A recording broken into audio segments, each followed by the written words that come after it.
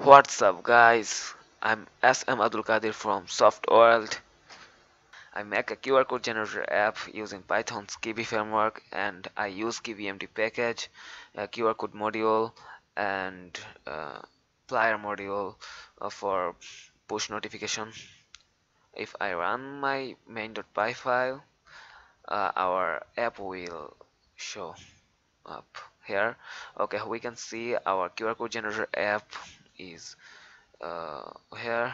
If uh, this is our uh, this is a text field where your URL is going to be written.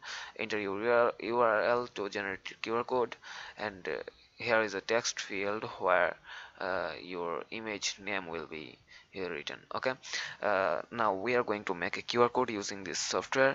Uh, we are going to um, make a QR code of google.com uh, google.com sorry guys google google.com and we want to name this uh, picture as google okay if we click this generate button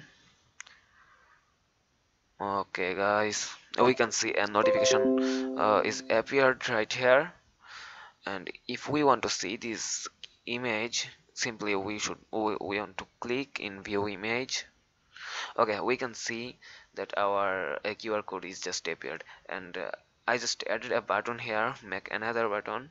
If uh, uh, if you want to make another QR code then simply type uh, simply enter this button.